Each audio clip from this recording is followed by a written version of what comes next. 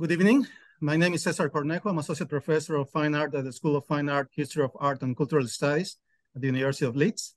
And it is my honor to introduce today as um, part of the Center of Audiovisual Experimentations uh, program and CIPRA grant uh, sponsored project, the presentation by artist Gustavo Matamoros in conversation with curator Jade Dellinger. Um, Gustavo Matamoros is an American composer born in Venezuela who creates experimental music and sound art. He's the founder of the Subtropics Festival in Miami and a core member of Frozen Music, a sound art collective with David Dunn and Rene Barge that has included Russell Freling and David Berman. He's best known for his work with the small sounds, as well as for his sound portraits, the use of gated recorded sound as interactive element in live electroacoustic performance, his noise melodies, and for his site-specific and public sound art installations. Over three decades, he has worked, performed, and collaborated with numerous, numerous prominent experimental artists of our time.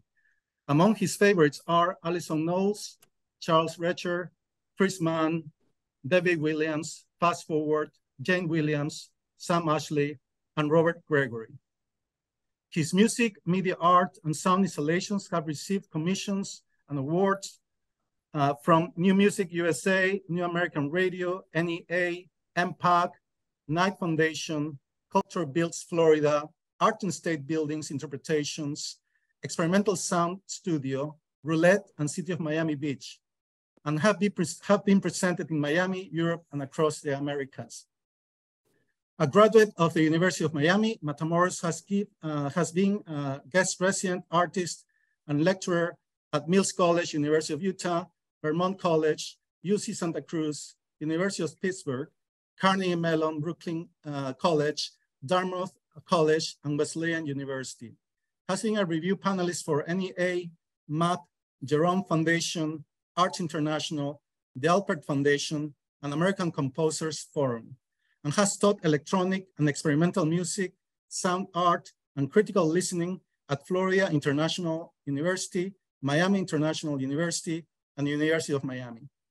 A profile article about his work with sound and with subtropics written by Barbara London, the founder of the video media exhibition and collection programs at the Museum of Modern Art, New York, was recently published in Flash Art online column, Listening In. Currently, Matamoros is 2023 Artist in Residency at Deering Estate and at the I-360XR Theater at Florida International University. And um, I will also read uh, Jade's uh, bio. Uh, Jade is a director of Bob, the Bob Rauschenberg Gallery in Fort Myers, Florida, the iconic gallery where Bob Rauschenberg rehearsed 15 solo exhibitions before sending them around the globe. In that position since 2013, Jade has curated shows as Yoko Ono, Imagine Peace, Rauschenberg, China America Mix, Dave Muller, Everything Sounds Good Right Now, Wayne White, Here Comes Mr. Knows It All, Keith Meyer, Edison Impluvium, Glenn Branca and Philip Corner, Resound, and Empire and Arturo Vega Retrospective, among others. Before that, as an independent curator, Jade, Jade regularly collaborated with the Contemporary Art Museum at the University of South Florida and the Tampa Museum of Art. In 1994, he invited artist Doug Aitken to present his first site-specific video installation, I Die For You, at the Pasco Art Center in Holiday, Florida. He also curated Maurizio Cattelan's US Museum debut, Choose Your Destination, How to Get a Museum Paid Vacation in 1995, and organized the collaborative Keith Meyer and Evel Knievel project in 1997 at the USF camp. Jade has also curated major solo museum shows for artists such as Allan McCollum, Lucy Orta, Atelier Van Lieshout, Carlos Amorales, Janina Chape, Felice Varini, Keith Haring, and the art guys, amongst others. He has contributed to numerous exhibition catalogs and publications, including Flash Arts International, Art Papers, Guitar Aficionado, and Permanent Food, and co-authored the book, Are We Not Men, We Are Devo, SAF Publishing LTV UK, 2003 and 2008, which traces the history of a seminal 1980s new wave band. Most recently, he has created a John Cage and Buddhism theme exhibition titled Don't Blame It on Zen, The Way of John Cage and Friends for the Black Mountain College Museum and Art Center, which runs through May 2023 at the Museum of Contemporary Art in Jacksonville, Florida. Uh, please join me to give a warm welcome to Gustavo and Jay. Thank you. Thank you very much. So uh, uh, this is Gustavo uh, speaking. I think what you see on the screen is a slide from my uh, presentation. So before I start, uh, let me thank uh, Cesar for the invitation to prepare this talk for this audience and and to the Center for Audiovisual Experimentation at the University of Leeds and everyone who made the, my participation today possible. Uh, to Jay for agreeing to uh, take part in this uh, uh event today and to all of you for joining this uh, Zoom-mediated talk, which I hope you find useful. Um, uh, Cesar already introduced uh, Barbara London's article and, and the information is being on the screen for a little while, including my um, URL, the URL to my um, website, which is uh, gustavomatamoros.subtropics.org.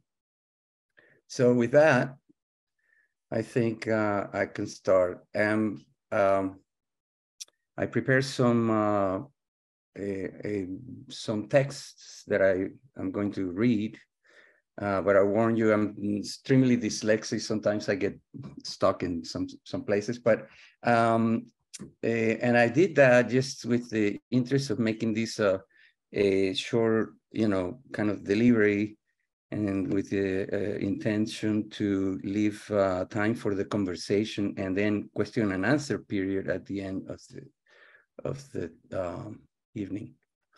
Um, so if during the course of this presentation you become clear about why I think I didn't become a lawyer or a C the CEO of a large organization, I would be thrilled to have done a really good job. Um, so my friend Bob Gregory once said, That's right, is you need accomplices too. I was reading this thing today. I think it was Brancusi talking about art making, and he said it's not like. He said it's more like doing a crime. You have to do it and be really scared and yet bring it off somehow, even so. And you have to know you're doing something illegal that you're not supposed to be doing, but you're going to do it anyway because you need to. You know, when you do stuff like that, you need accomplices.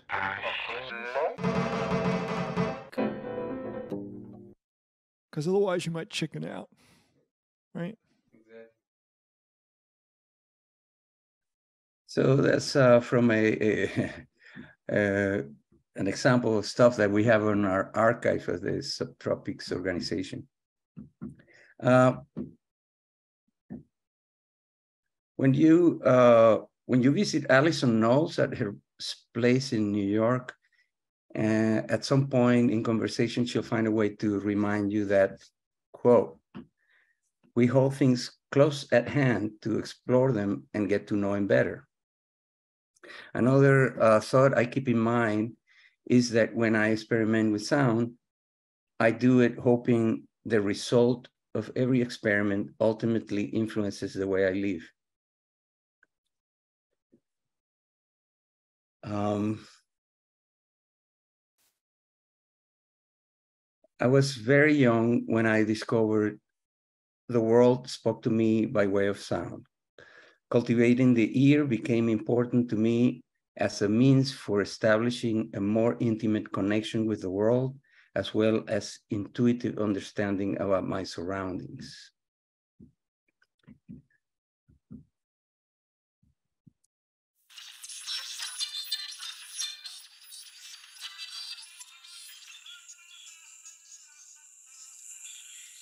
As a kid, I enjoyed spending time with my family's 1950s radio console, one similar to the one in the picture.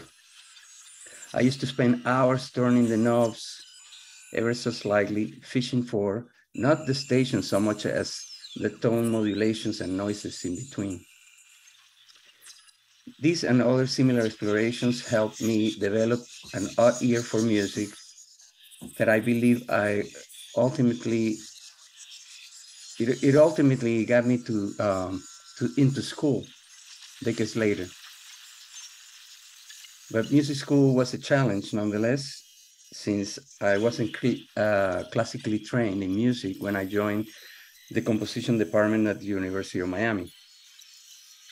Back then, I only felt totally at home inside the electronic music studio because of those early experiences with radios and tape recorders.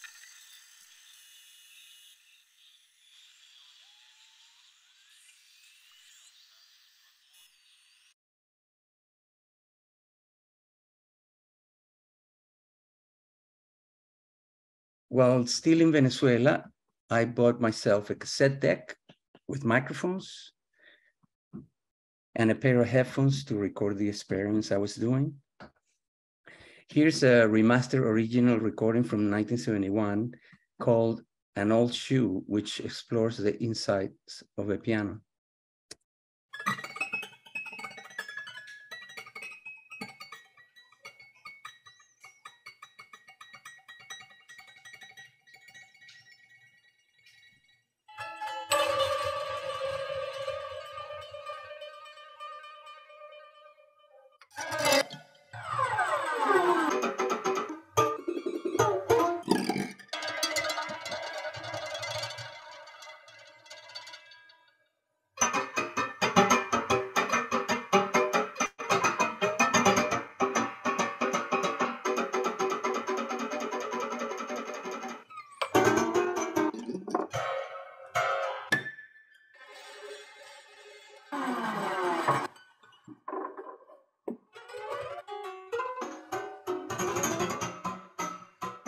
Then, I must have been 14 or so, and I had no idea who John Cage was.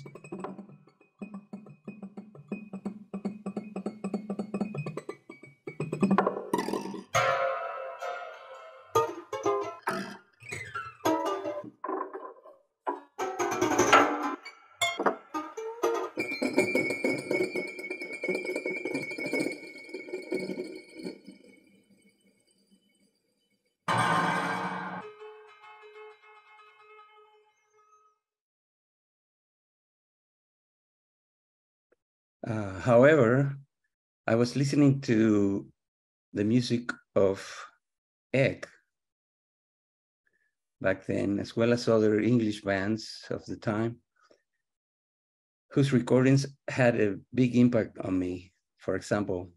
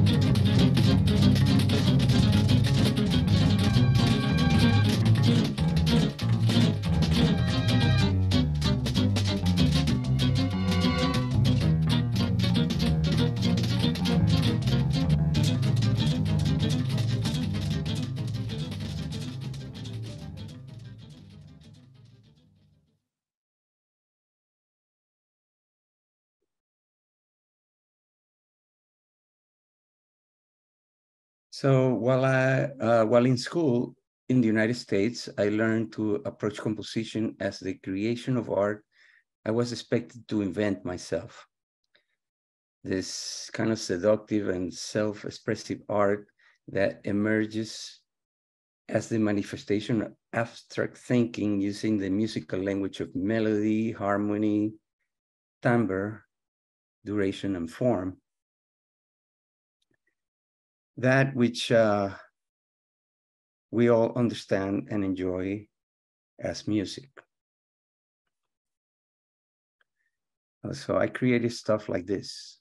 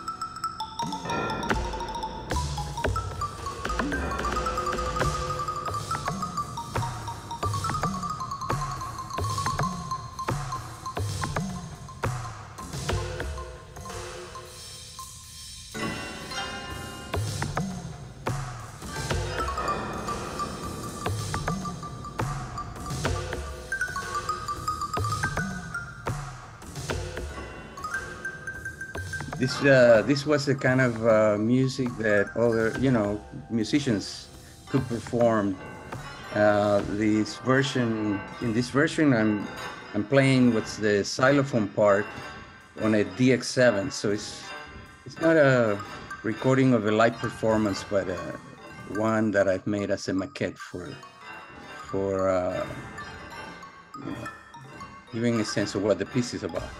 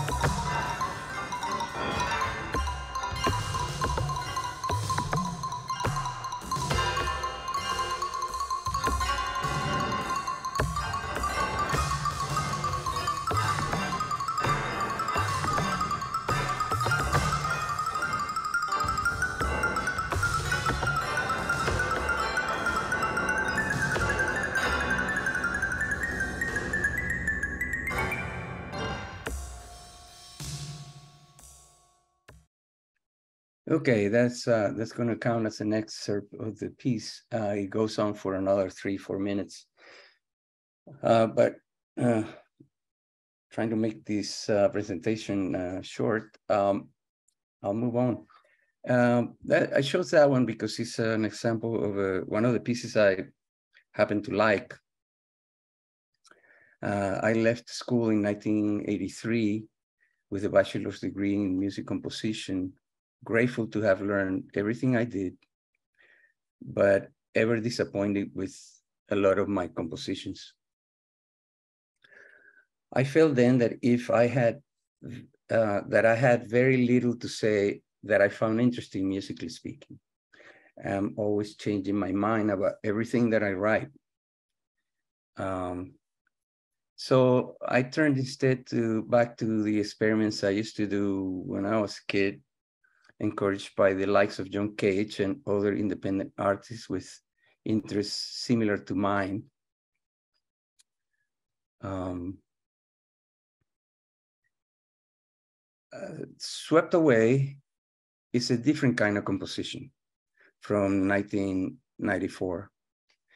The score of it asks a pianist to place the forearms over the keys, eyes closed, and imagine floating in water like a log, to feel and rock gently to the motion of the imaginary waves, while pressing the keys in such a way that the hammers move just shy of striking the strings that produce the musical tones typical of the piano.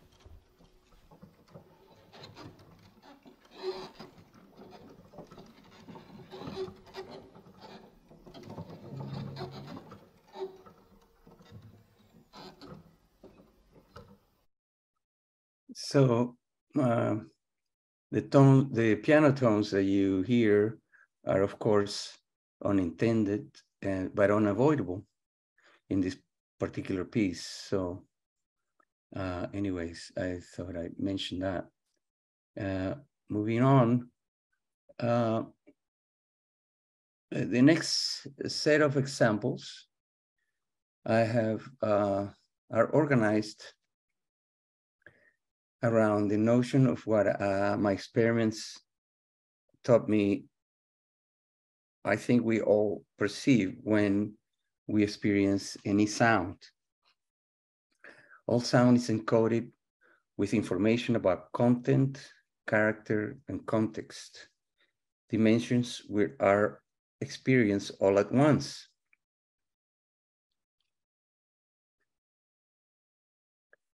Audibles, or I call audibles units of sonic uh, description representing an event. A ball rubbed harshly against a string, a smack in the face, John Cage's bus driving by a music school, that kind of thing. Uh, here's uh, the screech of uh, southern screech owl. Wait.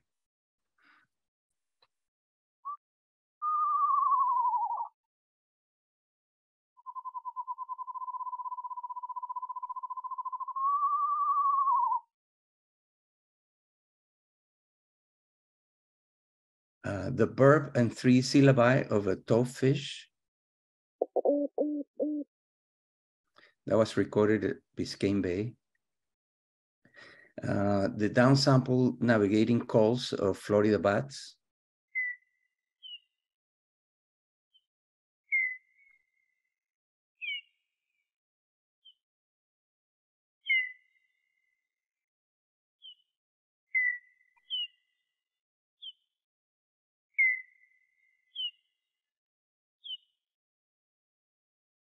The call of a small bird upon a tree. I think it was a warbler.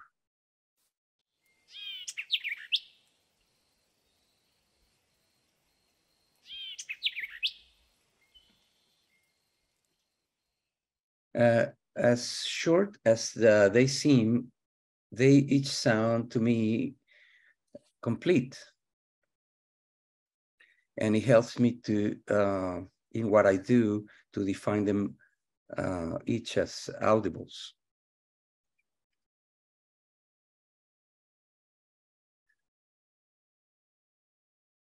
A noise melody um, can be like bird song, like a sequence of words in a sentence, for example. So in the next uh, uh, audio sample, uh, you'll hear the same bird that we heard uh, last, but responding differently to their environment only a couple of seconds after the first the recording you heard. This is the same small bird upon the tree.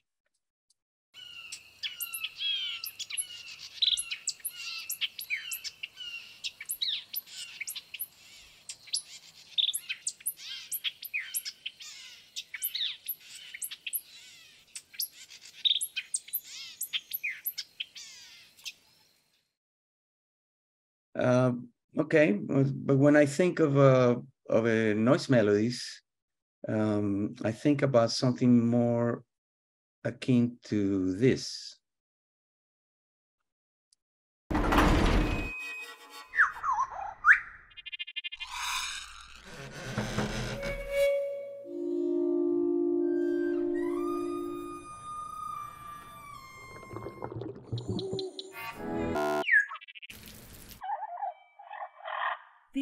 Accordion, a free reed instrument.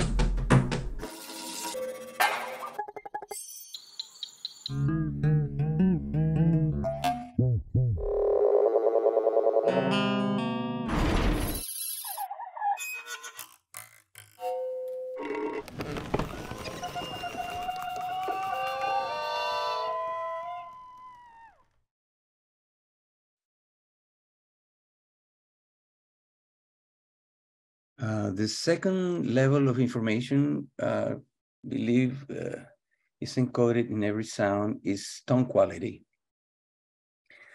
That uh, that which defines uh, the audible personality of the thing that's making the sound.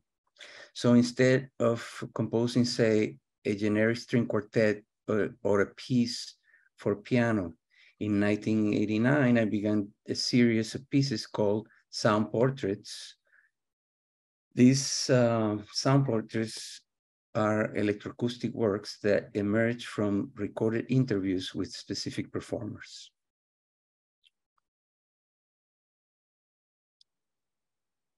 This next example from a Subtropics uh, archival recording of regarding Bob Gregory, Bebop in the Forest of Lonely Rhythm begins with Bob's explanation of how the piece came about. I recorded this during an early 90s book reading at Miami, at Miami's independent bookstore, Books and Books.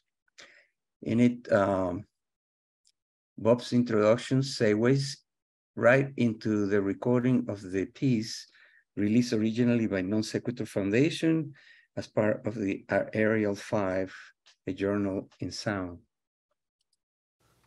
I'm gonna just, I'm not asking a question, but I'm gonna ask you to read some more if you would.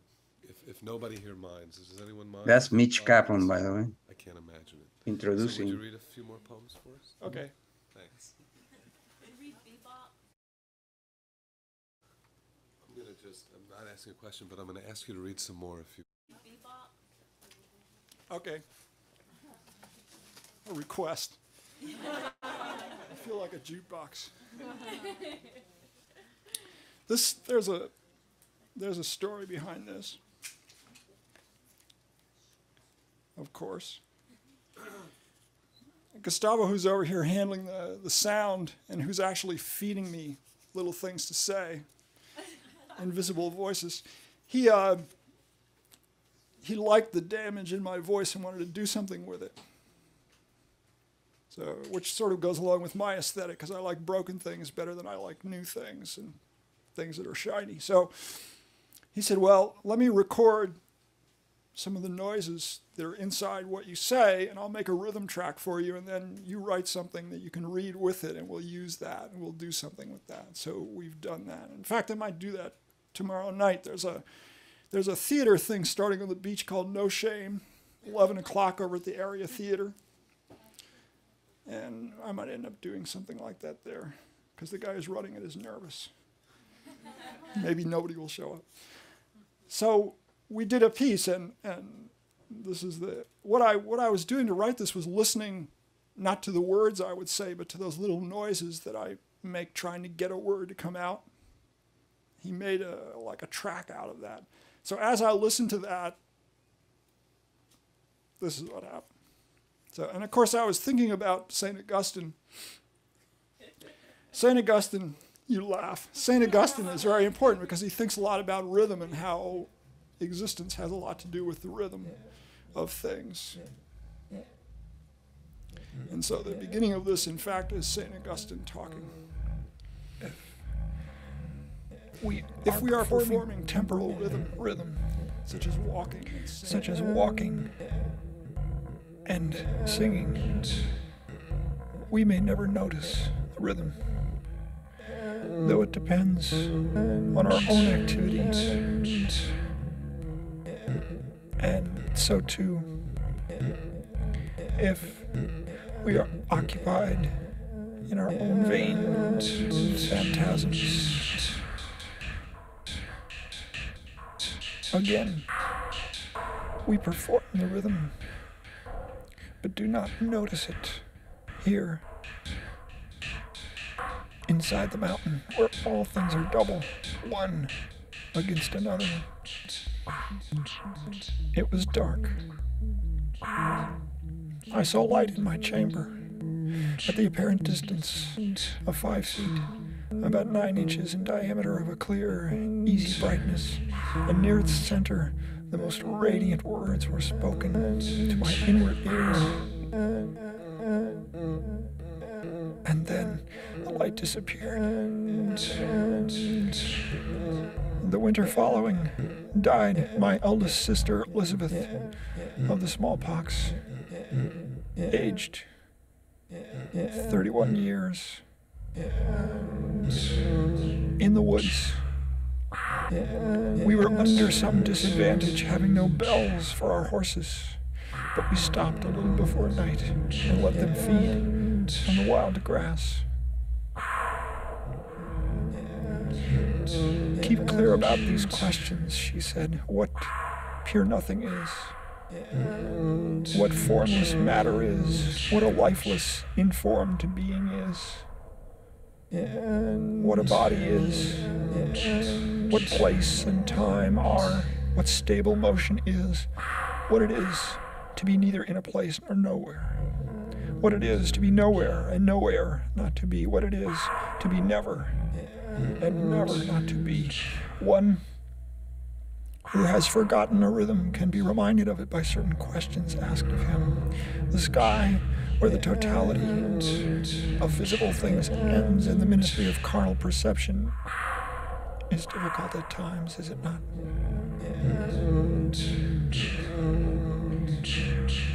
Disregard my cries, she said. I think I'm getting it. Yeah. Okay, so um, eh, next I was going to play a piece uh, it's called String Solo, uh, which is the sound portrait of a single string. I'll play you just a few seconds of it, um, and then I'll jump to the next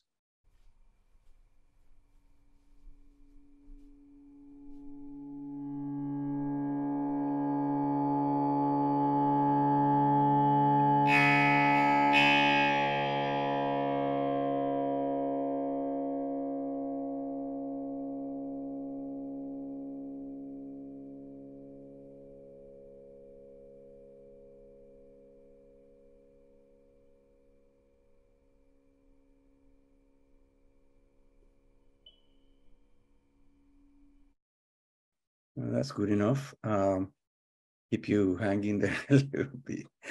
Um, that piece goes on for another seven minutes. Um, eh, so that would be like the portrait of a single string. And uh, the next example uh, is a version of a piece I call uh, Ingated Memory of Gentle Giant, which I think is is a portrait of both the performer, which in this case is uh, the guitarist Davy Williams, and of the band Gentle Giant, which was one of those bands I used to listen to when I was a kid. Uh, the the the way this becomes a portrait of Gentle Giant is by way of a noise melody of audibles extracted from their albums. Um, and uh, a, a, feature of this particular piece is uh, the use of uh, electronic gates, which keep the sound uh, masked from our ears. We can't hear it um, unless the uh, electronic gates are open or closed in response to the performance uh, performers playing. Here's what that sounds like.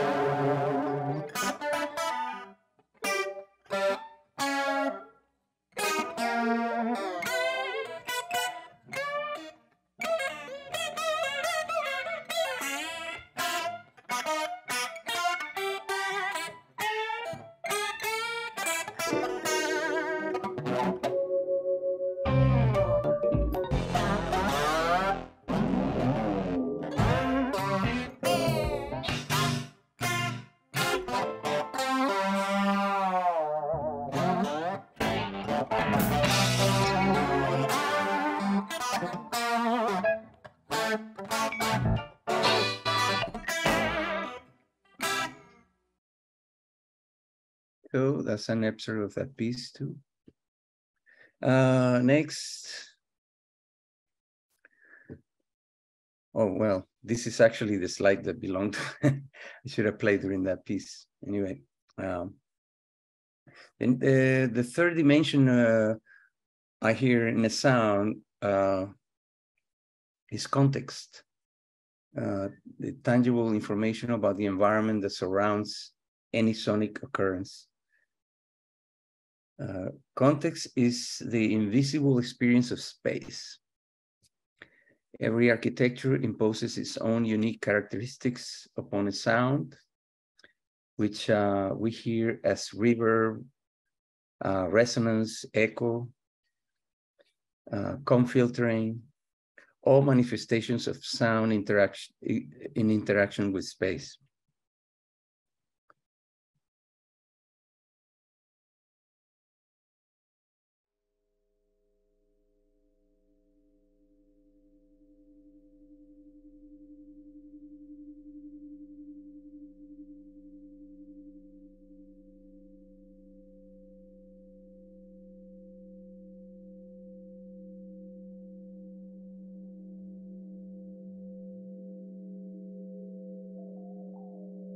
The tones you hear are a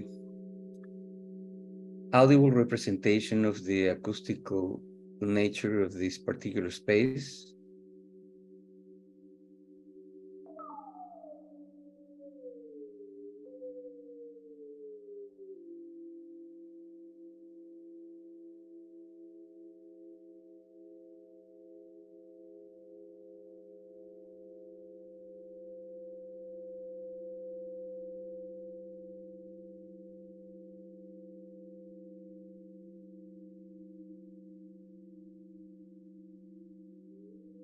And uh, if you're interested um, in the iSAW Subtropics YouTube channel, you can find a video titled Acoustical Portrait of the Bass Museum, which illustrates the process I used to find the resonance of a particular space.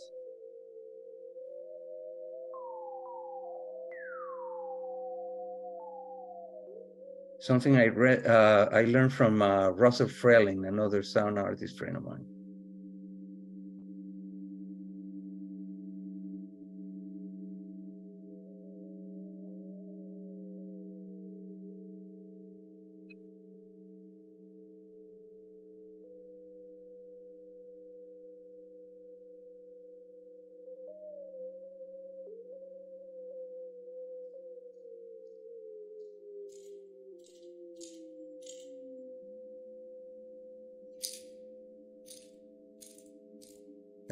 Grasshoppers.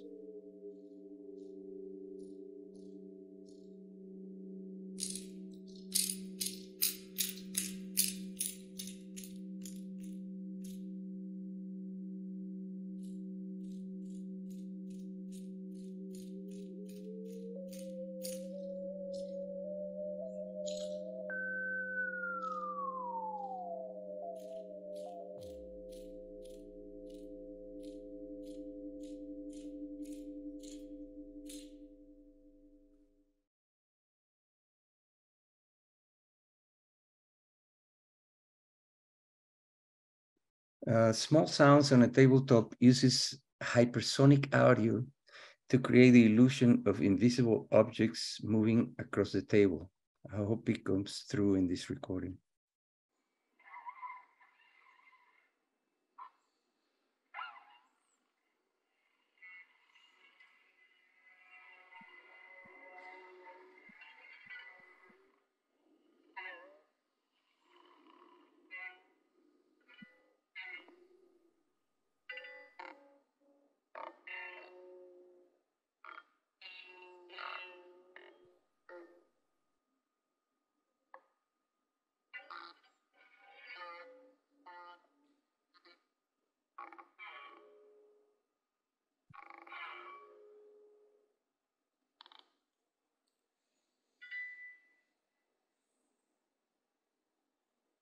There's a particular quality um, to those sounds uh, as playback through a hypersonic speaker. Um,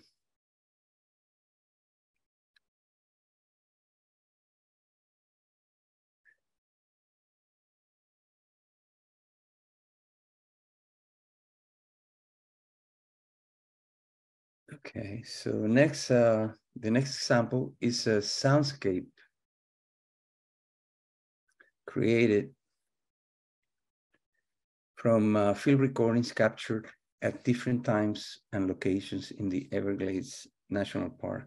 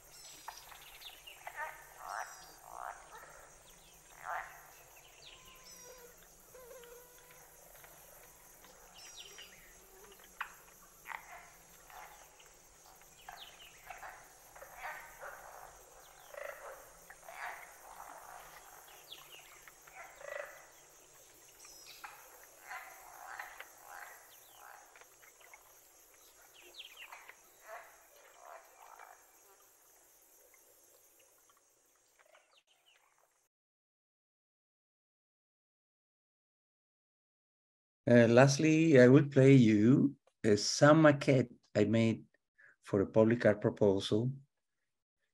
In this case, uh, I have isolated each sound source and remove and try to remove aspects of its original context as much as possible so that when the sounds are played over the outdoor speakers, they take on the character of the surrounding environment.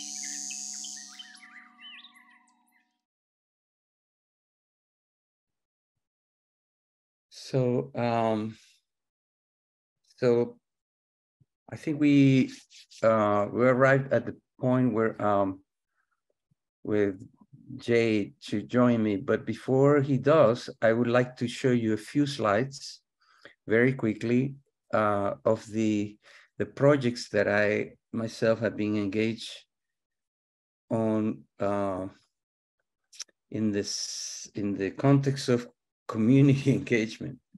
Uh, I see that one of the people in our uh, uh, that have joined us today is uh, one of my mentors, uh, Joseph Celli, who played a big role in my uh, understanding of how to build community around experimental music and sound art. Um, uh, so this first slide I'm showing you is of a festival that uh, the students at the University of Miami, uh, the year that I was graduating, uh, put together. I was one of four people who uh, helped organize this. The faculty uh, took care of the invitation and John Cage came for a couple days to to be the guest uh, artist at this uh, event, and that's where we met and and began an, an exchange around the experiences he had during this particular festival. Um, uh, then about you know almost uh, like eight years later, I had already uh, been or, um, working with um, started the Subtropics Festival in 1989, and in 91, uh, John Cage came back, and here's a picture of a performance of Empty Words during the festival. Uh, the festival also presented uh, people such as Joe Celli, Russell Frehling, or, you know, and uh, Alvin Lucier, who uh, is here uh, in pictures taken during the performance of uh, Music for Solo per Performer. Um, another project that um, I got going for a couple years was uh, trying to showcase collaborations between composers and visual artists. This was another experiment, try to motivate this kind of uh, pursue intermix installations festival. Um, Another one was uh, Word Sound, where I met a whole bunch of some of my favorite people, Alison Knowles, Kenny Goldsmith, um, um, Jackson Mac Low, uh, Gregory Whitehead, uh, all really amazing people uh, that had tremendous uh, connection with sound but in a way that was different from, uh, you know, what um, what you might think of when you go to music school. Um, then another project that we got started. Uh, this is this is all projects that kind of emerge from from you know wanting to do something and then understanding that there is the need for something else. So we started a thing called uh, interdisciplinary sound art workshop, and in order to try to uh, organize curatorial services, uh, you know, resources for artists to make sound art. Uh, you know, in when people started coming to subtropics, especially art, you know, our best audiences are actually artists who are interested in in these things and want to incorporate sound in their in their pieces. So try to to make a gesture to do that. That's what iSAW was supposed to do. And then we also, of course, uh, kept track of our uh, collection of audio recordings from the festival and other um, you know activities around experimental music and sound art in, in South Florida. And most recently, we started, you know, kind of, uh, you know, I'm I'm afraid of all the work that's necessary to docu- to to digitize uh, all the stuff that we have uh, produced. So instead of like embarking on a on a huge project like that, I've picked out different things here and there to pull out and start kind of digesting those things, uh, you know, one one thing at a time, and, and try to do like little projects like Indivisibles, which is uh, maybe my first release. I mean, I've had music released in uh, in other uh, contexts, but this is the first um, attempt to uh, put out my music, and even then, it's a collaboration with David Dunn. So half of the music is mine, half of the music or the uh, samples there are David's. Uh, here's a, um, documentation of uh, Fluxus Day we organized uh, during Subtropics uh, uh 2007 uh, in collaboration with uh, Alison Knowles and Larry Miller. You see him here premiering his piece, which unfortunately at this very moment I forget its name, the name of the piece, but anyway, it's fantastic. Um, and this is a, picture documenting a sound show that I uh, that we uh, that I uh, curated for the Subtropics 20, the 20th anniversary at the Bass Museum of Art. Um, uh, this is also another of one another of the pieces that um, was part of that show uh, music for pure waves, bass drums, and acoustic pendulums by Alvin Lucier. Um, uh, this is uh, during that uh, year, the 20th anniversary, we had a the first meeting of our advisory board, which was people from out of town, the all, the artists, you know, all the people that I admire, kind of have become uh, somehow advisory board members. And during the meeting, you know, uh, I was complaining that, uh, you know, it was very tough to bring people to one particular venue and organize a concert, you know, that, you know, we had maybe the same size audience for so many years, very, very interested audience, but um, so, you, you know, the idea was to expand that and to say, well, how do you how, how can you bring this kind of experience to where people already gather? So frozen music was an attempt to the first attempt to try to do that, and um, it basically it's an ensemble uh, that um, has members David Dunn, myself, and Rene Barch, who's a local artist, very interesting uh, sound artists. Uh, and basically, we organize uh, outdoor uh, activations of space that have to do with context, where we talked about before. Um, here's another example of that. Uh, we started, uh, I, I, I had an invitation to do a sound installation at the Art Center South Florida, which was right on Lincoln Road. And I said, well, why, why, why make a piece? Why make a single piece when you can give me a chance to organize a laboratory for investigating what it means to bring sound into public space. And so, um, so I got funded funding to to establish the listening gallery, which ran for the to from 2011 to 2005, 24 hours a day, 365 days a, year, and it's you know it basically presented.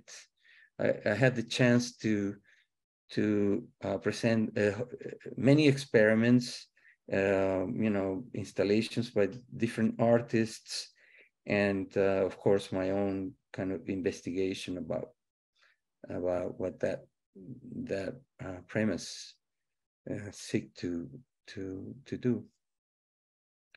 A parallel to that, I had a, a studio at the Art Center, also on Lincoln Road, and I was also funded to start the Audiotheque, which in 2018, I was able to um, organize a project with uh, 32 channels of audio. That's what, you know, the images that you see on the screen are from that uh, period of time, the, the, the last year. And that was a very successful project. I'm hoping to uh, establish at another in another at this time independent space because one of the things I have learned through my experimentation with sound is that corporations and organizations are not people. So don't try to make friendships or relationships with those organizations. Make friendships with people. They, you know, at least you can pin them out. anyway, uh, Jade, I'm gonna stop sharing the uh, the screen and then let's you know let's let's start the conversation. Um,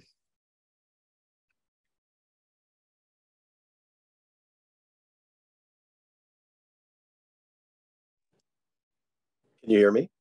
Yes, I hear you now. Gustavo, thank you so much for including me in this. And uh, I'm sure the audience joins me in thanking you for uh, such a wonderful, comprehensive uh, look at your work and your history. It feels like uh, we were just treated to a concert as well. So, um, thank you. And and and I and I want to thank also, of course, Cesar for this invitation, and um, am happy that his students uh, are uh, able to uh, join us as well.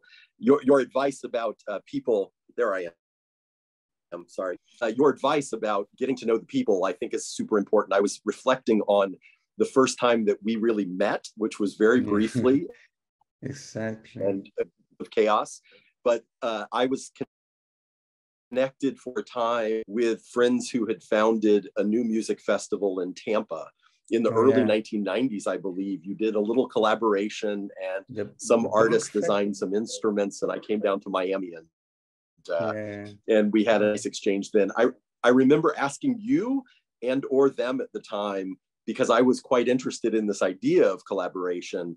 You know why it was that you were such a champion and so generous in your uh, in your collaborative efforts and I guess there is something about music that takes uh, other players, but but basically uh, the composers from Bonk made the point of saying it's the only way we can have our music listened to by anyone is yeah. is amongst ourselves somehow. Yeah. So, but uh, that said, I think I think uh, if if I were to begin to ask a few questions and engage in this, um, I'd be interested to know what advice you might have for students, even to start because again one of the things I've most loved about the work that we've done together and you're coming and performing in the Bob Rauschenberg Gallery, but also the opportunity to come down to Subtropics 25, and maybe we can talk more about that. Sure. Um, has been, you know, your generosity and all of this, and and and your your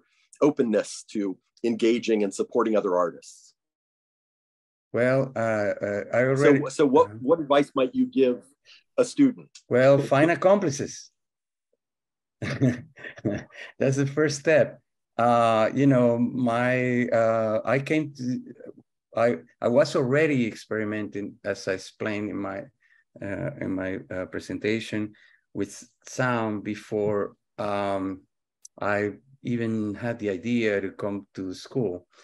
Uh, but I also, you know, wasn't sure that, you know, that what I, of, of what I needed. I thought we, I needed to go to music school because I was interested in sound. And that this is the kind of thing that we are faced with when we first begin with no knowledge. You know, when we're kids, we're just you know, curious about everything. And uh, that's what led me to where I'm at right now. The, the just mere curiosity. And, and for me, it was fortunate to, to find sound as a tool to do that. But along the way, I, you know, I had, by the way, there's serendipity involved with this. You know, I met Joe Celli at my first when I first came to the United States at Elmira College, he was giving a concert, and uh, uh, and the stuff that I heard there was so so um, impressive to me. Uh, and I think the reason why I found it impressive was because it really kind of connected to the kind of experiments that I was doing as a kid. You know, as a kid, I thought I was just playing with with sound.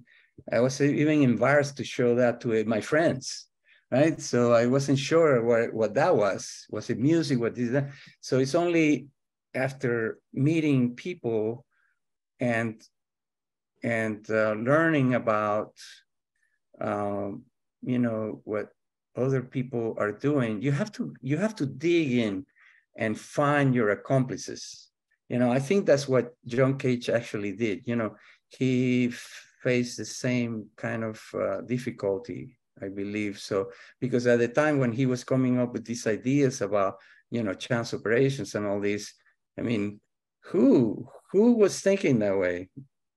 No, yeah. No, I mean, well, it, people, people thinking that way were thinking that way outside of music. Okay. Yeah. So, um, so well, people and, like Duchamp and, and things like that, and uh, but but he had to find his accomplices. So where, who were who became his accomplices? You know, uh, you know the futurists and the and and uh, Erik Satie. You know, he he went and dug out all those people from you know from the obscurity. You know that didn't mean they weren't already part of history. They're just basically forgotten and, uh, and even Duchamp. I mean, he started playing chess with Duchamp. Why? Because you know he thought, well, we need we need this kind of you know uh, influence in our. Now, of course, I didn't know any of this when I was growing up. So uh, you find this out as you go. So the recommendation I have for students is, you know, trust whatever it is that that made you interested in what you think you're pursuing, and then use school to help you connect with that and maybe answer whatever questions school is capable of answering, but do not necessarily uh, stop there. You know, continue the exploration. And uh, as a matter of fact, um, you know, I think the personal experimentation is extremely important. Uh, why? Because each of us are different. We're all different. You know, this thing about we all being the same is not accurate. My experiments with sound tell me every sound is different, and the reason, and we want them to be different. Why? Because each sound tells us something different, and it's a different, uh, you know, perspective on something, right? So difference is desirable. We want everything to be different, not the same. We want it to be different. Why? Because that's what interests that you know the brain is is kind of uh, is is designed to absorb new information. When when you tell it the same thing over and over, it, it, it becomes uninterested.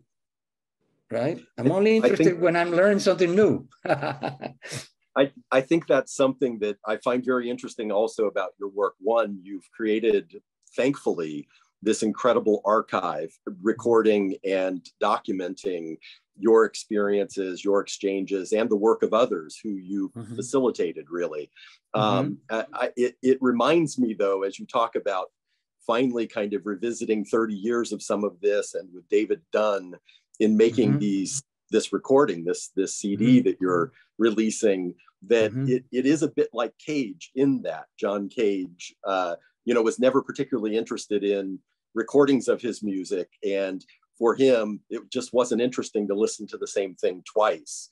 And that, yes. in a way, is also what got me to the Rauschenberg Gallery because he had done in the 1960s this installation of records and record players, which which has uh, for his centenary in 2012, we uh, used the score, but then had specially collected guest curated records and, a number of his former collaborators and people that you've worked with, Pauline Oliveros, mm-hmm.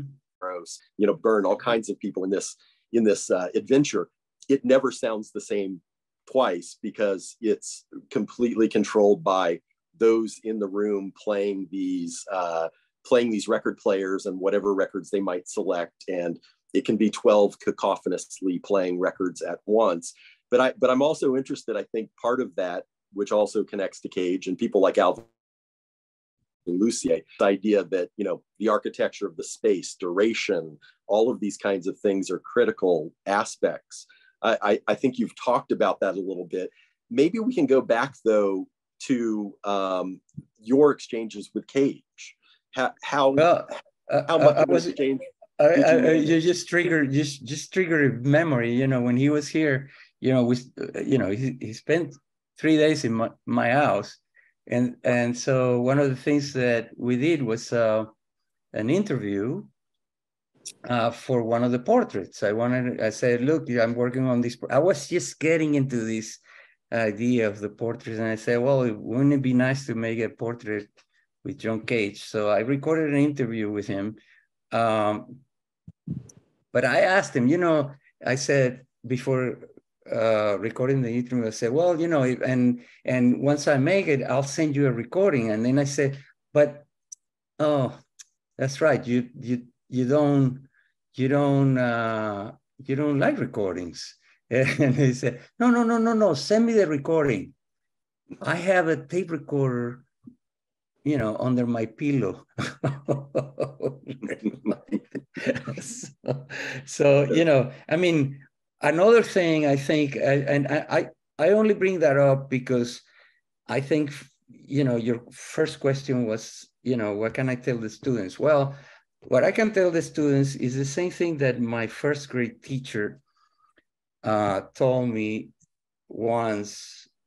There's two things I remember about her. And the one that I'm going to tell you about, she was reading a book, walking up and down the aisles in the classroom, and all of a sudden she stops and says, not because it's written in a book does it mean it's true.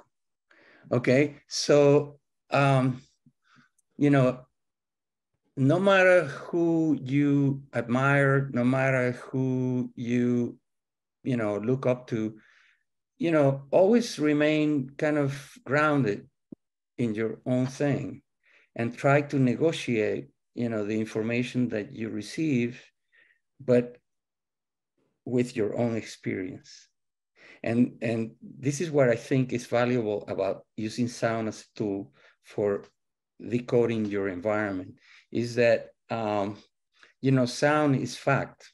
Sound is the evidence that something happened. So when you hear a sound, you're hearing, you know, the the description, audible description of something that's real. So the information that comes to you through sound, if you're capable of decoding it, which is what we have to teach ourselves to do, and I think that we call that listening. Um, if we are uh, capable of developing a way to decode that information uh, uh, in a way that's uh, useful, then we feel like we have a better relationship with that environment, right? And part of the environment involves language, and people speak with language. And language is not, I mean, the content of language is not factual. The content of language is simply uh, opinion um, and uh, uh, um, is, is an attempt to try to describe things. But the sound is the actual description. You see what I mean? There's a difference between sound and language, and both carry information, but the kind of information carried by sound and by language is of two different natures, you know. There, okay. there is the thing, and then what you call it, of course. Exactly yeah. right. Exactly. Yeah. And and, and so, I, you know, I'm, interested.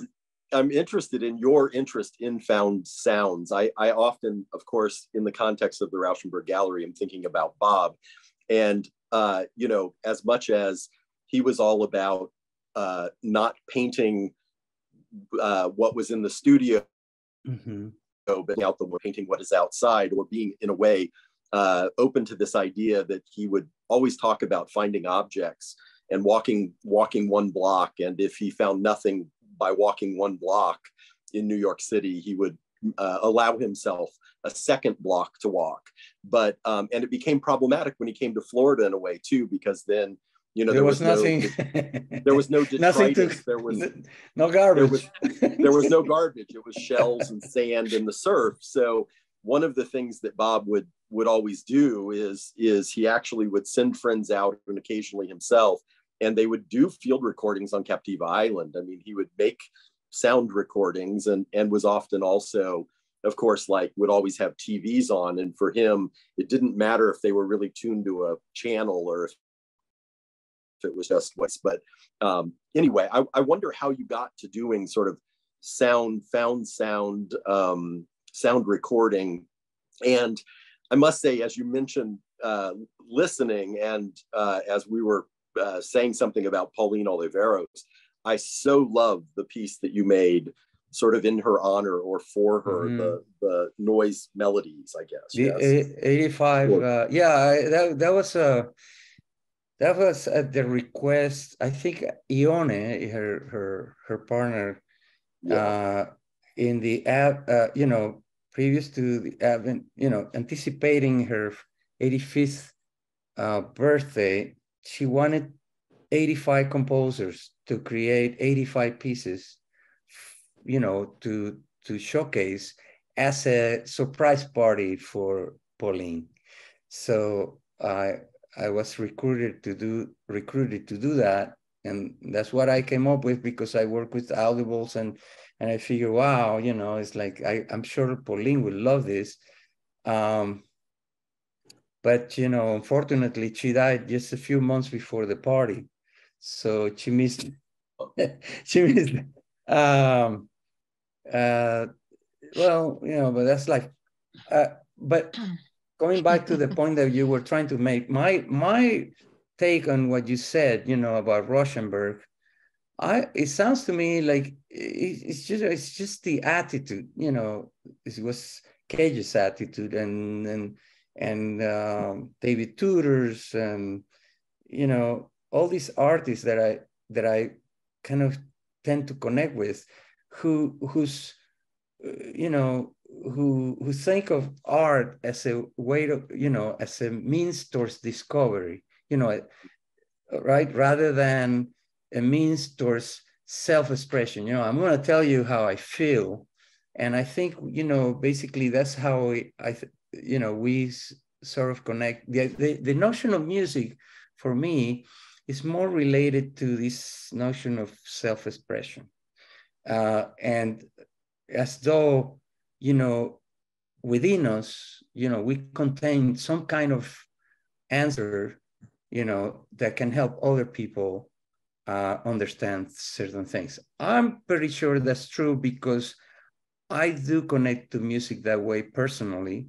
I love the music of Egg. I love the music of, uh, you know, Gentle Giant, but I love the music of, you know, uh, McCoy Tyner.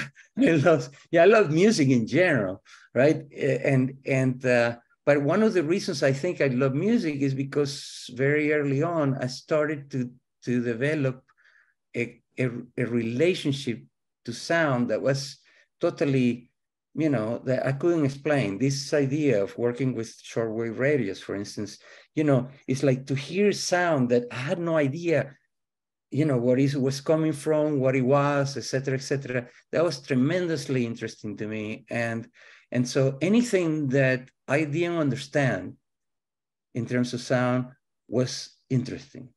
Now, um, there were things I would listen to that didn't sound that interesting. Like for instance, one, I, I had a, I had a, an uncle who's the, who, who was from, uh, Latvia, uh, he married one of my aunts in Venezuela. So and and uh, he did that because he uh, she met him while he was the first violinist of the Venezuelan symphony orchestra. And uh, back then in Venezuela, you know, they used to organize these international music festivals, and he was so proud to have premiered Penderecki's second violin concerto, something like that. So, so when I told him that I wanted to study music, he invited me over for dinner to show me the recording of his performance of the violin concerto. And I remember listening to that and and, and kind of feeling like, wow, I so appreciate that. But you know what? I listened to the piece, and back then when I was, o sea, bien aquí, I found it so like imposing and and I don't know. I I I couldn't get into it, right? Um, I I have more tools to appreciate it now, but for me it was kind of like a, a back then, you know, and and thinking thinking back, you know, it's like a gesture of really like, you know, I have this really strong opinion about this and you should listen to me, do no, watch, and I didn't find that to be too elegant. Well, when I go to the Everglades and listen to the Bugs, I, you know, that's really impressive. You see what I mean? It's like I feel like I'm learning something. I don't know what I'm learning, but um, in other words, I uh, so that's that's how I kind of get to the idea that I think, you know, the world speaks to me through sound, and when I open my ears to it, I feel like I'm lear- I learned something, you know. So, but I've learned something from from from the music that I just described as well.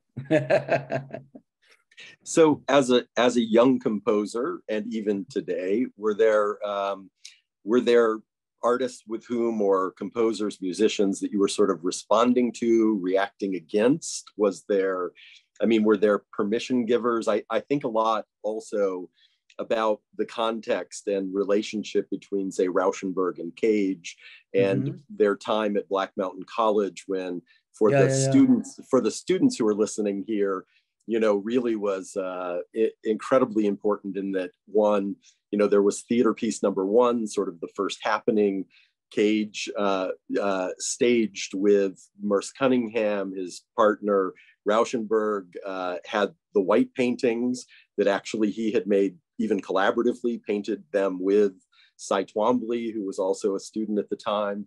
And and and in a way cage later after theater piece num- number one you know cage later said in a way that rauschenberg although he'd been thinking about it had given him permission to do 433 which for again students uh, is his uh, sort of most famous the silent piece. Um, but it was because in a way he had seen, he was aware that Bob had made these paintings that were all white, eh, that were all about, uh, of course, you know, the dust that gathers on them and the shadows that we cast upon them. Um, so I wonder again, are, were there people you were reacting against? Were there people throughout your career who who were giving you permission, or you know?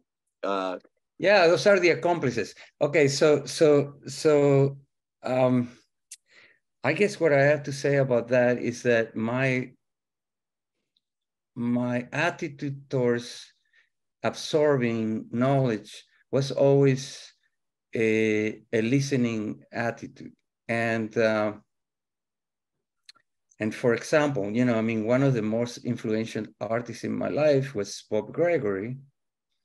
Uh, many others, uh, but Bob Gregory, you know, the the poet that you heard a couple times during my presentation, had a relationship with life that rang so true to me. You know, so so and in her and his in his work and in our collaborations, you know, I I uh, I was only you know dumbfounded by by the way that uh, he was so well. What he was was eloquent with language. So I I could really uh, you know a, it, it resonated with me very much.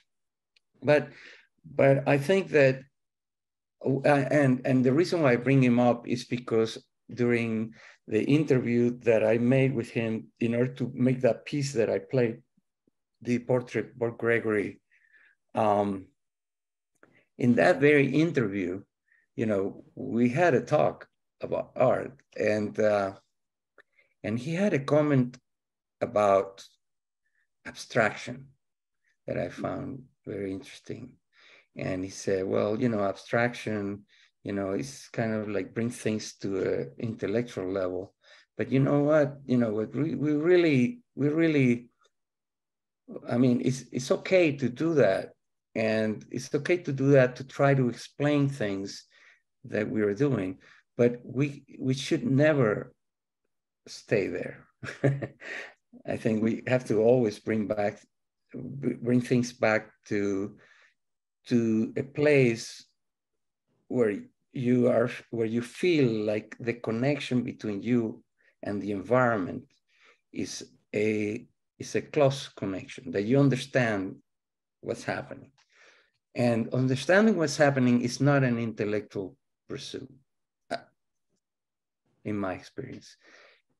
Um, it is it is for you know in the realm of science it is in the realm of you know academic study no question about it. And i think it, it is very important in the you know development of humanity that we you know philosophy all all of this is is really important. But i think that one of the functions of art is i think intrinsic is in its function and we are misusing art. Right now i feel like i'm totally confused by the art world i, I have no idea what's going on. So um, i think that that from my experience the the function of art is to help us keep connected with something we can't necessarily describe with words.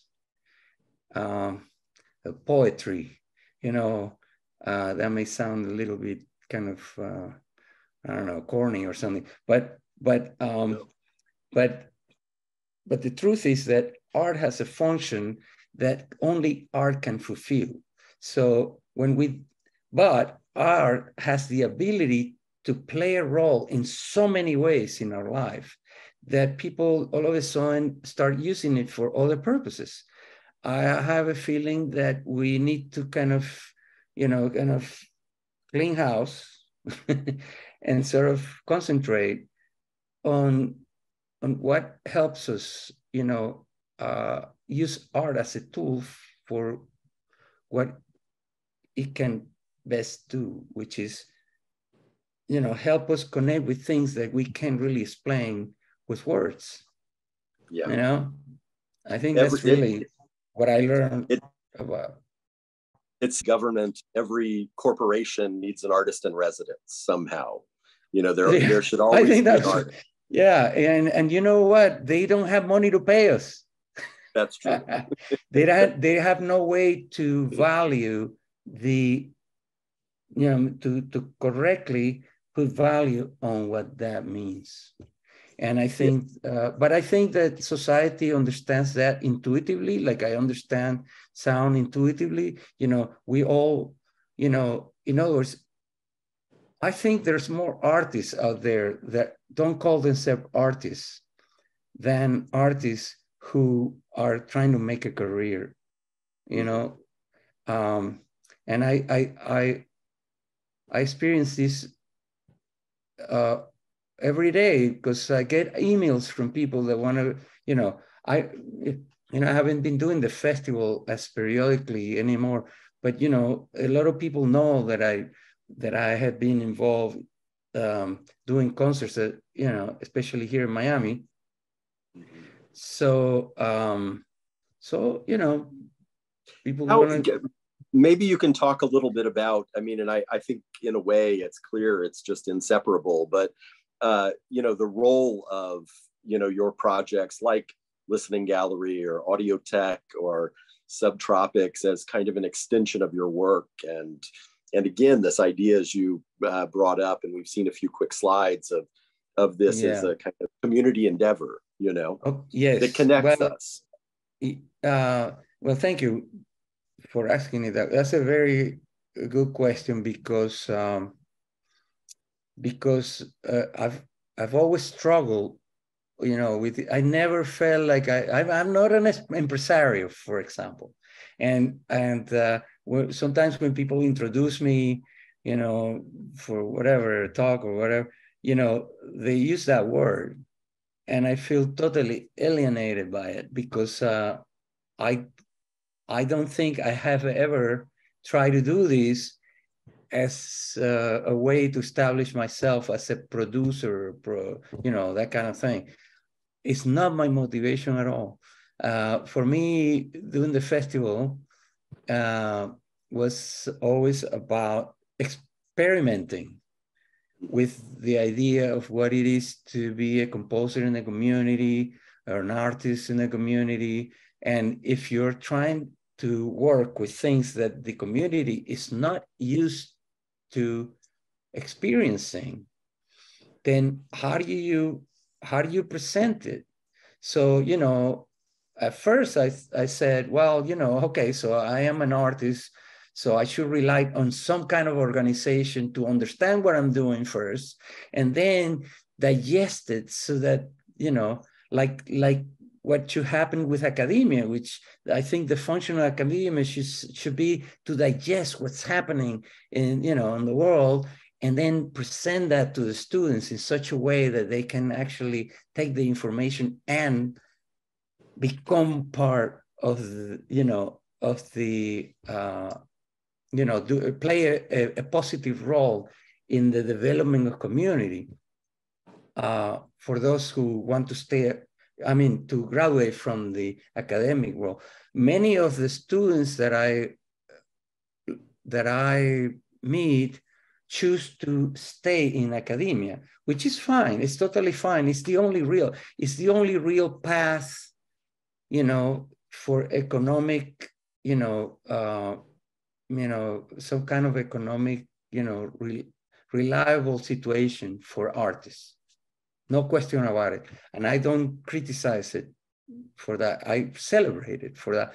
But but I was not particularly someone who had academic, you know, in, interests. Uh, I I always saw the world in a different way. I I had more in um, I always share more with those people who were independent you know, uh, researchers in the, you know, John Cage, David Tudor, told, talk to me about that. You know, how did they make it outside of this context of well they did. They figured out ways not only that but cage cage organized ways to help other artists you know the foundation for contemporary art. You know that was basically an artist you know const- construct you know john cage jasper johns come together let's help artists outside of the, an institution. It, um, you know, it doesn't have to be academic, but an institution. Why? Because we have to support independent research. Mm-hmm. Okay, that's how I feel about what I. I, I, I feel. I feel like we've we have uh, some interest in that. For example, I I, I think of your uh, mm-hmm. a number of these. Uh, things that you've sort of put together both as venue and as I- mm-hmm. events, but mm-hmm. much like what our history has been with the Rauschenberg Gallery, that of course mm-hmm. predates me. It's been more than 40 years. And, mm-hmm. and Rauschenberg had an exhibition in our gallery mm-hmm. in the inaugural season, but he also, over those early years, um, world projects like his quarter mile two furlong piece in three parts over three years one time for sort of a weekend. Um, and, and, and so I've taken on this role in a way which I think I think you historically have too, and you've been an inspiration for me, you know, of of creating a kind of laboratory. You know, it's mm-hmm. it's something where, you know, I see my role in a way as providing tools, and I think mm-hmm. I think you've clearly done that. Yeah, but my motivation for doing know, that. Relation yeah, but yeah. my, my motivation for doing that uh, comes kind of from the from having the question is like what does it mean to be an artist in the community and yeah. what can i do to help create you know a context that that works for somebody like myself which is not what most museums galleries um, you know music venues etc., etc., use as criteria for selecting what they're going to present to a an audience. I mean, yes. I'm I'm dumbfounded by the choices that that sometimes you know even nonprofit organizations make in order to engage the community.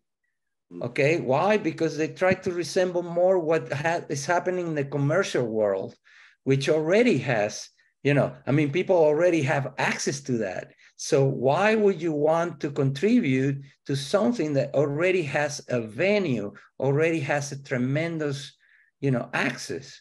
Why would you deprive access to something that's, in my view, extremely important?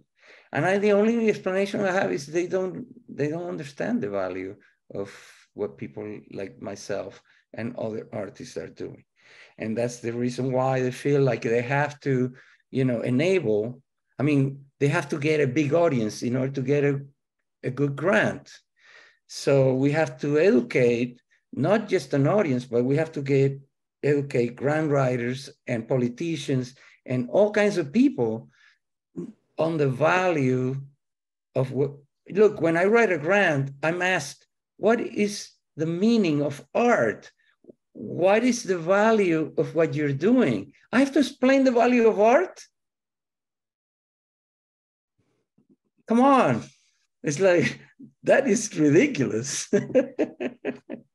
so, Gustavo, I, I hate to sort of stop things here. I, I'm not sure we've not heard from Cesar, but I know that we want to have time for, for questions. For yeah. So, in terms of. Please.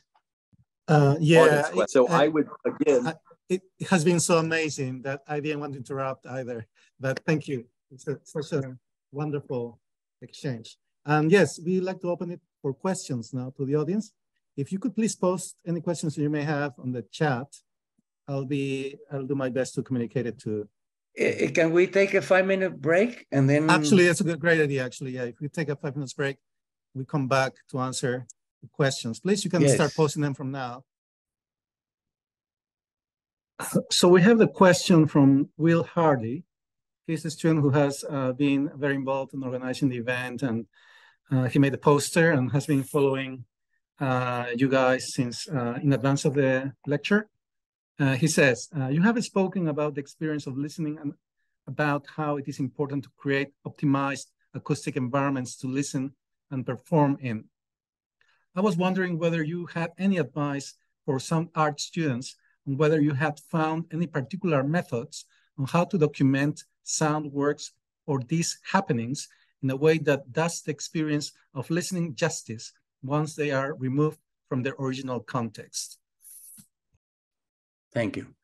Um,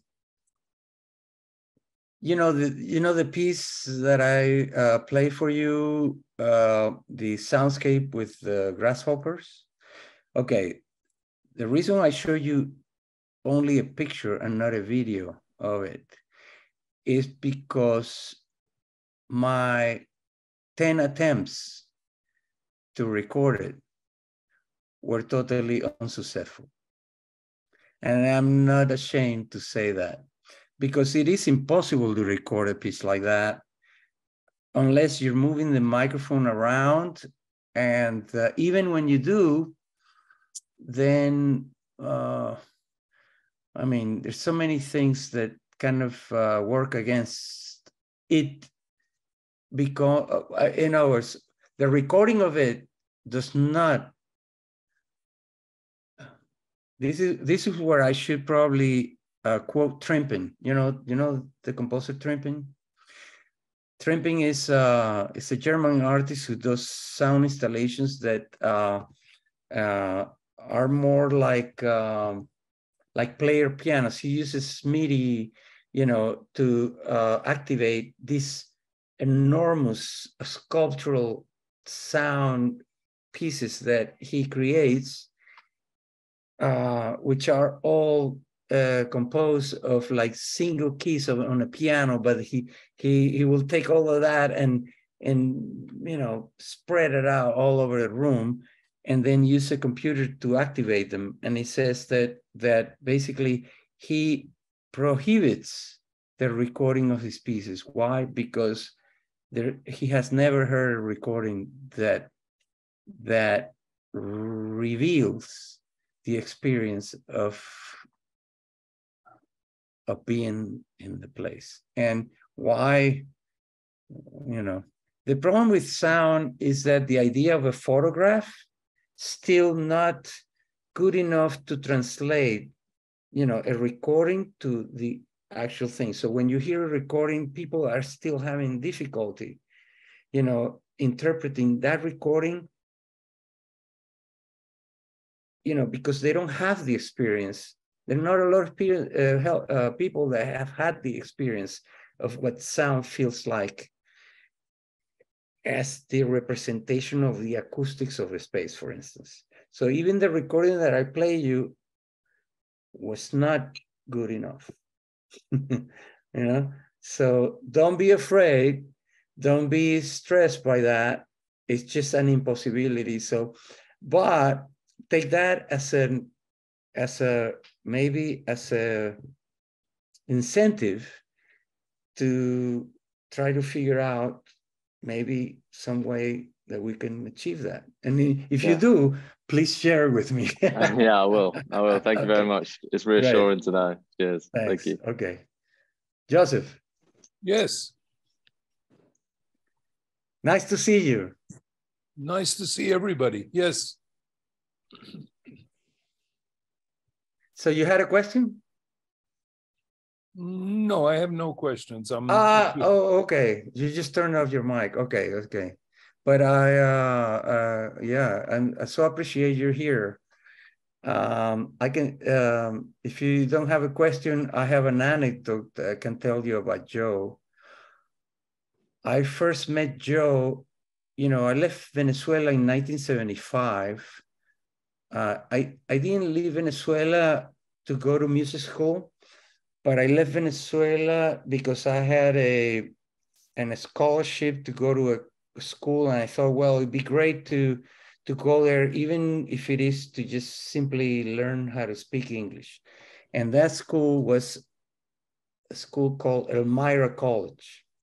And Elmira College is a very small school in New York. I think it's if not the oldest, one of the oldest, you know, colleges in New York. And when it was uh, established, it was only a girls' school, and in 1970, 1970 or something like that, it became a co-ed.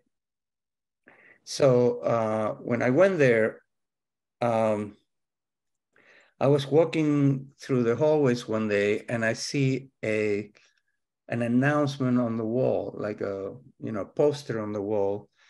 The I I I, remember exactly what he said. It said concert. It's a New England New Music Ensemble concert. And I said to myself, wow, if he has the word new twice in the title, I have to go.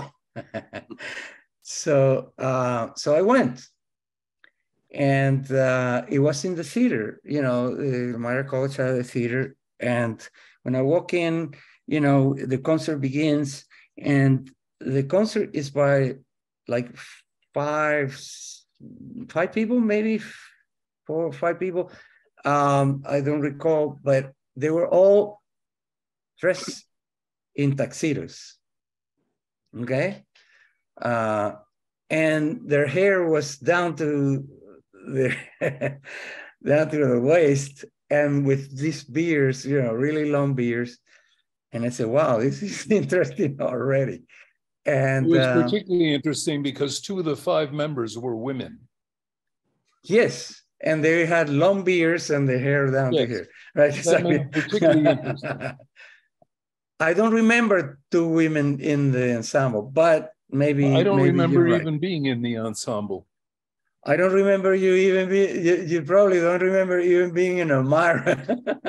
but anyway, Elmira is a very small town in New York. Uh, Yes, anyway, the so- college, uh, the college was founded in 1855, by the way. Yes, there you go. I, I yeah.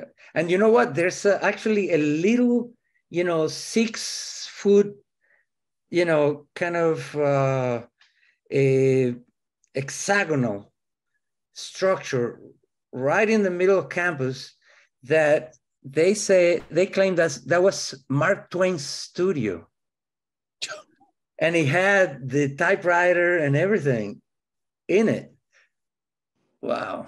Was, and then I, I didn't know who Mark Twain was then, but uh, I learned later. Anyway, so, and I really like Mark Twain, by the way. Um, I like humor. Um, so, but, but back to the story. Uh, so all of a sudden there's these performances of this uh, chamber music ensemble. And some of the pieces sounded like what I would expect them to sound but there were two pieces in the program that you know kind of said uh, make me pay attention. One was a solo for oboe with with lights where the lights will be going you know like all over the place and this oboe will be you know making all these sounds I think it was with film. no I, it was with lights I, I remember lights going off and then and different colors and lights and this and that. But maybe, but maybe I don't remember correctly. But the thing that Yeah, I do a film that remember. was- It was a film that was being projected directly on me.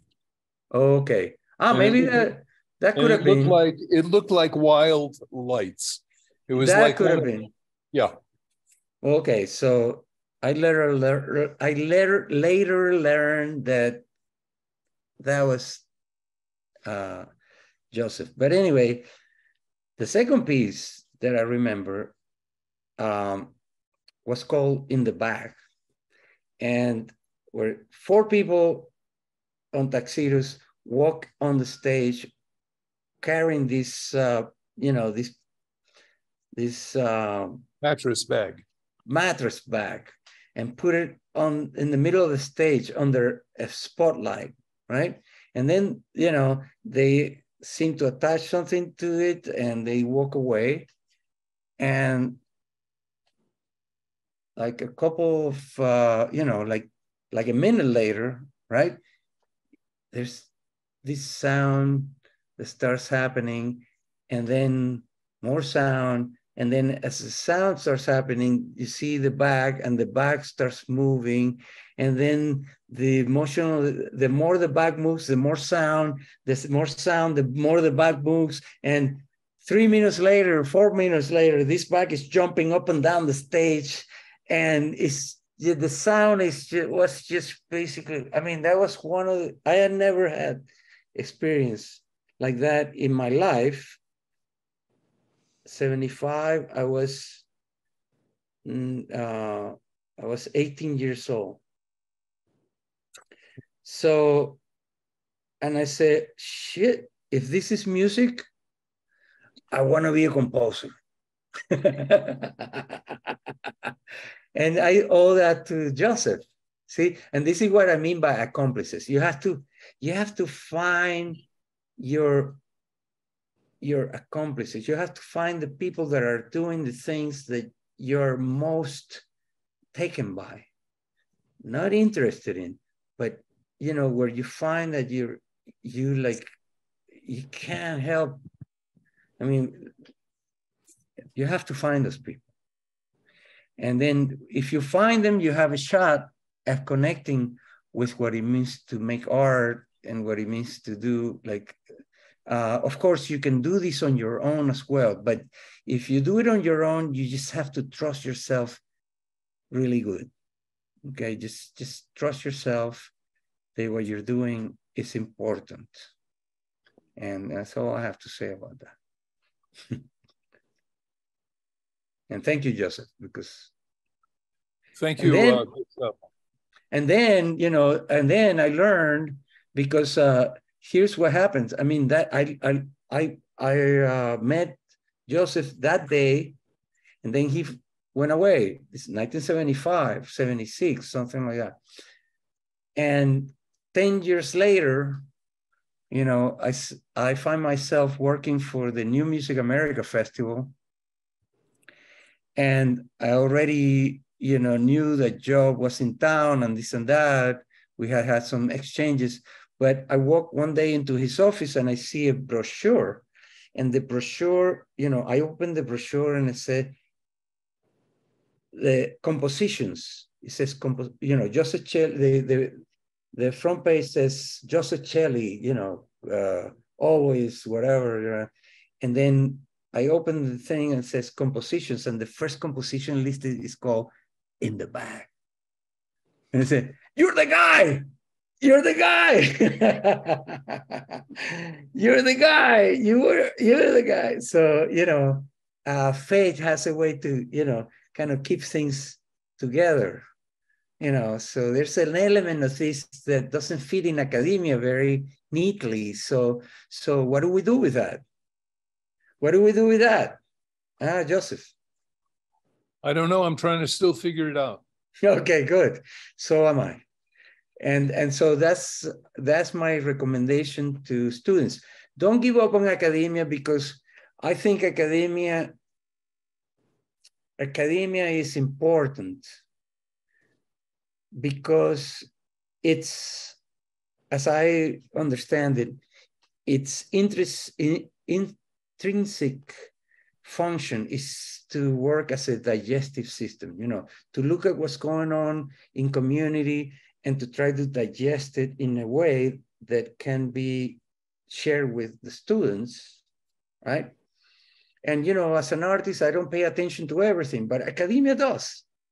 So, so you want to pay attention to what people have to teach you in academia because they they can uh, they have a knack for for you know, it's like scientists, you know, packaging things in a way they, that, that are understandable and eh, eh, and and you know, you can develop theories and things like that in that context. As a sound artist outside of academia, I feel like I'm a researcher for sure, and I wish there was more resources, and I mean by that I mean financial resources to to help independent artists pursue uh, independent research. But I think right now the most of that those resources go to academics uh, contexts, and that's that's quite okay. But I think you know that um, we need to, as a society, maybe maybe incentivize academia to embrace a larger you know context by by in other words what i see as the relationship between community and academia is that there's a big hollow you know kind of uh, a big hole. There's no bridge between community and academia. And so independent artists are in a in the community so they have a, more um, a closer relationship with the, the, community. Like look at the projects that I've done, right? Those are experiments with social experiments. The the audiotheque, the listening gallery, the subtropics. Uh, those are social experiments from an artist, from an artist perspective. I think that if there was a way to to bridge the gap you know, so that uh, institutions, academic institutions would basically find a way to engage, you know, art, which I think used to happen before because, you know, like Joseph, you know, that concert that Joseph did at my school, I mean, that was, and that's an example of that, right? You know, and this talk, this talk is an example of that, where you are, you, you, you know, opening a door to someone that has this experience that is foreign to academia, right? And invite him in to like do something that maybe can help uh, at this point, maybe the students, but I think I think it would be really useful to to find ways of you know establishing these bridges and I don't mean establishing bridges with the industry, because the industry doesn't think about things this way. I'm sorry, it doesn't do that. So what you need to do is tap into the kind of research that should be happening in academia that is happening outside of academia. And uh, uh, the biggest, the biggest uh, roadblock that I see is you know, it's like academic institutions can't justify, for instance, you know, engaging with an artist that doesn't have a degree, you know, like the right degree or whatever. I think that, you know, kind of is, uh, uh, I don't, I don't necessarily think that's stupid, but I think that's kind of uh, a short-sighted. Short-sighted because the kind of, you know, I mean, you're, you're sort of closing the door to people like John Cage. He didn't have a, you know, an academic degree, but he certainly changed the world of music enough for academia to have to study it. So if you're studying that, why not bring those people in? You see what I'm saying? I mean, that's my whole uh, that's why I do subtropics. That's the only reason I do subtropics because I don't have any other infrastructure for experimenting with community, right? And through subtropics, I have been able to, you know, get grants to do it and blah blah. So, you know, the the the the the limitations I face is that the grants that are out there to support what I'm doing are not research grants. They're presenting grants. So I have to present something. So that means I have to contextualize everything I do in terms of a concert, uh, this and that. So I can't focus 100% on the experimentation, on the research aspects of what I'm doing, which is what I'm really interested in. I have to always find some way to connect the research to some kind of uh, thing that the audience is that there's going to be an audience for it so that they can justify it because when i write a grant i have to say 100 people came to my concert mm. and that's how i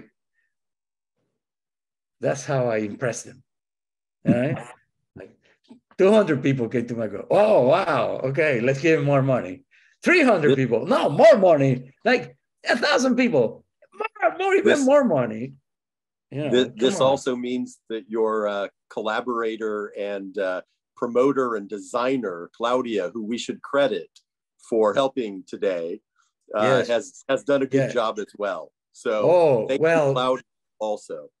that presentation that I did for you uh, was yeah, totally, you know, uh, without without Claudia, I wouldn't have been able to to do it that way.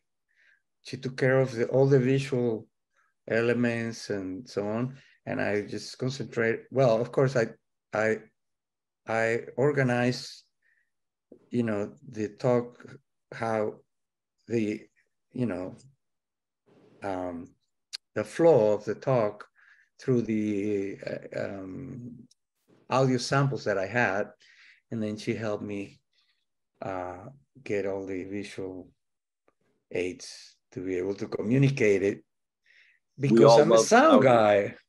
guy. So Cesar, were there more questions that we should address? Um, I don't see Or- more questions in the chat. I think this has been such a fabulous talk and conversation between you and um, Gustavo. It has been an honor to have you today, honestly. And, and I really like to please thank you again. Please, I mean, I don't know, at least I see Thank you. There.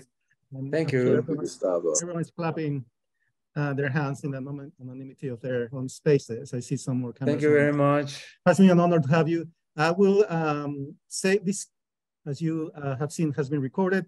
I will um, uh, process this and, and share the link as soon as I have uh, the recording ready. I noticed I missed a recording just a part when I was reading the question. Oh, a little I'll- bit, I'll, yeah. I'll add it. I'll add it um, uh, later in the edit, so it's going to come to- as well together with the video. Uh, thank you again, and thank you also for to everyone who came today. And uh, please feel free to share the link when it's available. Uh, again, it has been an honor to have you today, and thanks so much for making the effort. And you know, I I I want you to know that uh, I I still don't know how you came up with the idea, but I really appreciate that you reach out to me to do this. Um, and I'm always honored, you know, when you know when uh, when I'm invited to do this in in academic uh, context because um, because I I truly appre- I truly appreciate the need for uh, uh, you know in exchange. Yeah, no, I, and don't worry. I mean, I don't take personally anything that you said about academia because I, I agree. well, I, I didn't No. mean to try uh, to to No, say I anything think, negative. Uh, no, I think it's very much ne- necessary, that kind of criticism, that kind of critical Yeah. assessment of academia. I think uh, academia definitely has to catch up with reality. We're really far from doing that. So thank you again. And uh, We can I look help. forward to more opportunities to doing this uh, in the Yeah, coming okay. future. And again, uh, thanks to, for everyone to attend it today as well. I'm look forward to more gatherings like this, crossing uh, continents and uh, time zones. Thank you. Thank you very so much. much.